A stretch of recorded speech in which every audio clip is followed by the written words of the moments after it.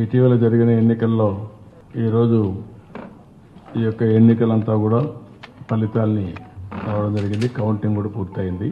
ప్రజాస్వామ్యంలో ఏదైతే ఎన్నికలైన తర్వాత ప్రజలిచ్చే తీర్పుని ఆమోదిస్తూ ఎవరైతే వైసీపీ అభ్యర్థిగా అదే మరిగా వైసీపీ గెలవడం జగన్మోహన్ రెడ్డి గారికి మనస్ఫూర్తిగా అభినందనలు శుభాకాంక్షలు తెలియజేస్తున్నాను. అదేవిధంగా కేంద్రంలో కూడా నరేంద్ర మోడీ గారు గెలవడం వారికి కూడా భారతీయ జనతా పార్టీకి నరేంద్ర మోడీ గారికి శుభాకాంక్షలు తెలియజేస్తున్నాను పక్క రాష్ట్ర ఒరిస్సాలో కూడా నవీన్ పట్నాయక్ గారు గెలవడం పట్ల వారికి కూడా మనస్ఫూర్తిగా అభినందనలు శుభాకాంక్షలు.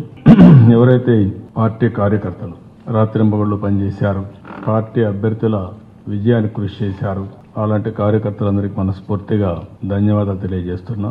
అదే మాదిరిగా పార్టీ కోసం ఎంతో అభిమానంతో ఓట్లు వేసినటువంటి ప్రజలందరికీ పార్టీ కోసం ఎప్పటికప్పుడు ఆశీస్సులు ఇచ్చిన శ్రేయోభిలాషులందరూ కూడా మనస్ఫూర్తిగా అభినందనలు. ఈ ఎన్నికల ఫలితాలను సమీక్ష చేసుకుని ఏం జరిగాయని కూడా సమీక్ష చేసుకున్న తర్వాత తదుపరి రియాక్షన్ మీకు గాని ప్రజలకు గాని తెలియజేస్తాం. తద్వారా భవిష్యత్తులో పార్టీ ఏ విధంగా పనిచేయాలనే విషయాన్ని సమీక్ష చేసుకుని మళ్ళీ ముందుకు పోతాం. చూసిన ఫలితాలు జరిగిన పరిస్థితులు చూస్తే నిజంగా ఆశ్చర్య భయంగా కూడా ఉన్నాయి. ఊహించను కూడా ఊహించలేదు ఇలా జరుగుతుందని ఇలా వస్తాయని కూడా. బట్ ఎస్ అమ్మఒడి అందుకున్న యాభై మూడు లక్షల మంది తల్లులకు మంచి చేసిన పిల్లలు బాగుండాలి వాళ్ళ చదువులు బాగుండాలని తాపత్రయపడుతూ అడుగులు వేశాం.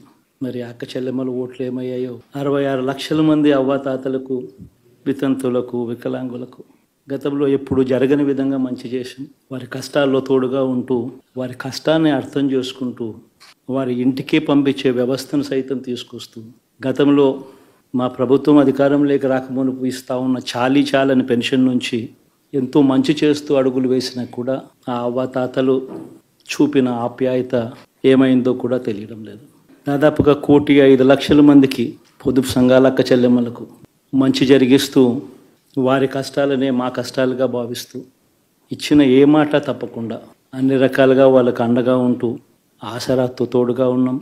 సున్నా వడ్డీతో సైతం అండగా ఉన్నాం. చేయూత సైతం తోడుగా ఉంటూ నిలిచాం. మరి ఆ కోటి ఐదు లక్షల మంది అక్క చెల్లెమ్మల ప్రేమాభిమానాలు ఏమయ్యాయో? ఇరవై ఆరు లక్షల మంది చేయూతను అందుకుంటున్న అక్క చెల్లెమ్మలు వారి ఆప్యాయత ఏమైందో తెలియదు పిల్లల చదువుల కోసం ఏ తల్లి ఏ తండ్రి ఇబ్బంది పడకూడదు అని మొట్టమొదటిసారిగా పూర్తి ఫీజులు ఇస్తూ తీసుకొస్తున్న తీసుకొచ్చి అందగా నిలిచాం. చదువుల్లో ఎప్పుడూ చూడని మార్పులు తీసుకొచ్చాం. దాదాపుగా పన్నెండు లక్షలు మందికి సంవత్సరానికి మంచి జరిగిస్తూ ఆ పిల్లలు ఆ తల్లుల అభిమానం ఏమైందో కూడా తెలియదు. దాదాపుగా యాభై నాలుగు లక్షల మంది రైతన్నలకు గతంలో ఎప్పుడూ చూడని విధంగా జరగని విధంగా పెట్టుబడికి సహాయంగా అందించే కార్యక్రమం మొట్టమొదటిగా జరిగింది మన ప్రభుత్వం వచ్చాకే.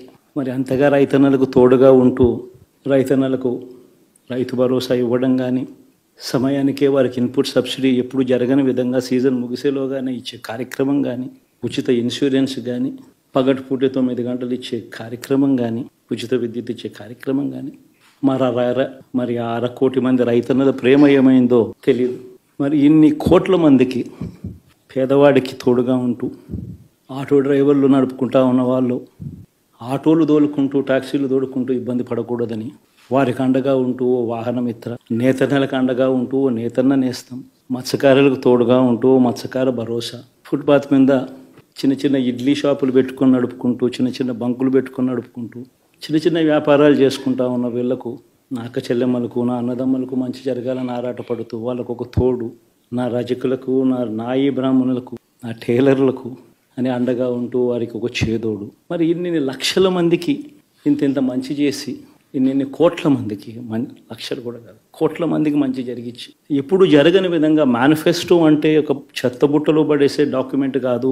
ఒక మేనిఫెస్టో అంటే ఒక బైబిల్ అని ఒక ఖురాన్ అని ఒక భగవద్గీత అని మొట్టమొదటి రోజు నుంచి కూడా భావి భావిస్తూ ఏకంగా తొంభై తొమ్మిది శాతం వాగ్దానాలు అమలు చేసి అంతే చిత్తశుద్ధితో ఆ ఆ మేనిఫెస్టోను కూడా అక్క చెల్లెమ్మల ఇంట్లోకి తీసుకొని వెళ్ళి చూపించి మీరే టిక్కు పెట్టండి అనే నిబద్ధత గల ప్రభుత్వంగా ఇప్పుడు జరగని విధంగా పిల్లల చదువులు పేదరికం పోవాలి అని అంటే పిల్లల చదువులకు క్వాలిటీ ఎడ్యుకేషన్ అవసరం అని మొట్టమొదటిసారిగా ఇంగ్లీష్ మీడియంను వ్యతిరేకిస్తున్న వాళ్ళందరూ పెత్తందాలతో యుద్ధం చేసి సైతం పిల్లలకి ఇంగ్లీష్ మీడియం తీసుకొని రావడమే కాకుండా టోఫుల్ ఐబీ లాంటి కళలు కూడా కలం ఆ పేద పిల్లలకు అండగా నిలబడాలని తోడుగా ఉండాలని వారి చరిత్రలు మార్చాలని.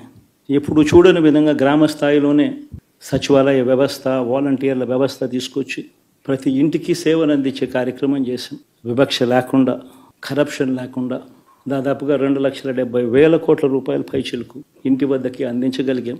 ఇప్పుడు చూడని మార్పులు తీసుకురావడమే కాకుండా ఒక చదువుల రంగం అయితేనేమి ఒక విద్యారంగం ఒక ఒక వ్యవసాయ రంగం అయితేనేమి ఒక వైద్య రంగం అయితేనేమి ఏ పేదవాడు ఎప్పుడూ ఇబ్బంది పడకూడదు అని ఎప్పుడు ఊహించని విధంగా మార్పులు తీసుకొస్తూ పేదవాడికి అండగా నిలబడగలిగాం.